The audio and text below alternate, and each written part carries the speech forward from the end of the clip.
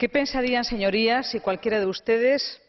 si agentes de policía acompañados de las cámaras de las principales televisiones del país retransmitieran en directo su arresto?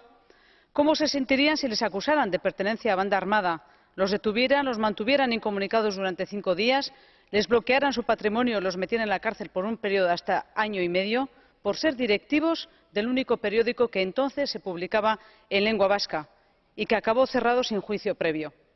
Además la mayoría de los detenidos han denunciado que fueron torturados pero qué les parecería que siete años después y a pesar de que el fiscal pidiera el archivo del caso por falta de pruebas estuvieran pendientes de juicio? qué les parece que haya otra parte del caso la causa económica pendiente de otro juicio?